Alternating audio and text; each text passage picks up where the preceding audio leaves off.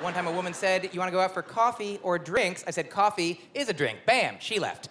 So I think the best way to go is honesty in a pickup line. I'll go up to a woman and I'll say, Hey, can I buy you a drink? And if she says yes, I'll say, You are wrong, I am broke. So.